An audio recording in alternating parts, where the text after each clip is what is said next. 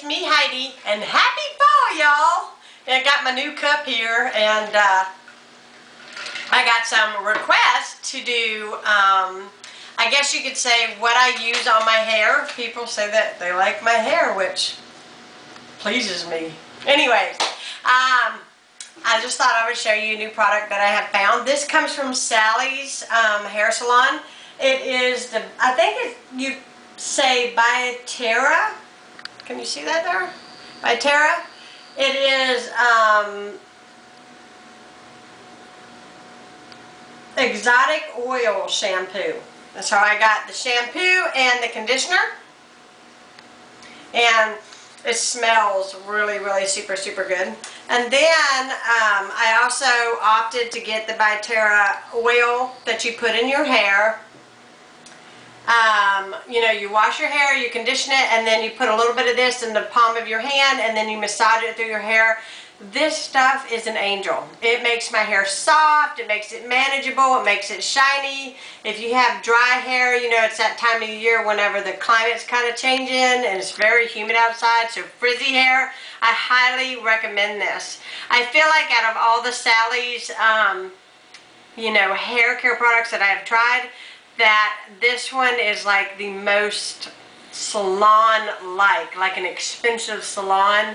I feel like you're getting, you know, a lot of bang for your buck with this stuff.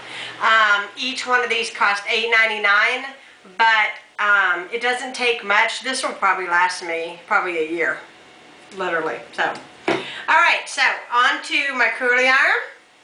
Um, if I, I try to avoid heat in my hair at all times, but this is the curly iron that I use. This is the Conair. The only thing that I do not like with this is that it comes with a glove that I have thrown in the garbage. It only covers these three fingers. That's it. They couldn't come up with enough money and sell a curly iron for 30 bucks that could add two more fingers to the glove. I don't know. But um, I don't use the glove. And um, I just threw it in the trash. I think it's stupid. I don't understand why they made it that way, but that's the only thing that I don't like about this. Okay, so basically, you know, you just take your hair and you twirl it around it, and I just hold it like this, and then I release it, and when I do, it's in a spiral curl. This really works wonderfully. If you're going to use something that has heat, this is a great, great tool. Okay, so in my bag, this sits in my bathroom. I got this from thrift store and I really like it because you can travel with it. If you don't have a bun maker for your hair, you've got to get a bun maker. This is like totally awesome. You're going to go to the park.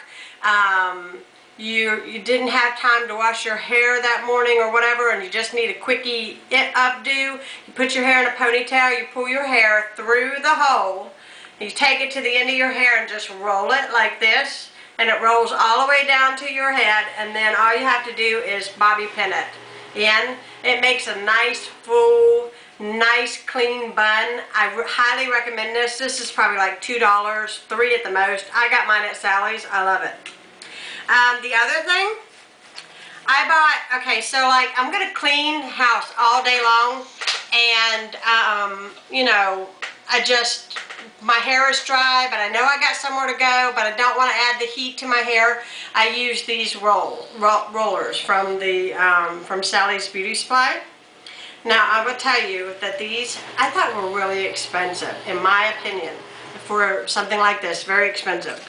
So I found these at the Dollar Tree.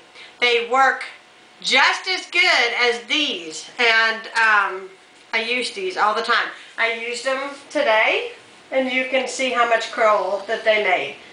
I didn't use these, but I used the ones from the Dollar Tree, and I think they did really, really well. The other thing, which um, I was joking around a little while ago, is a sponge roller.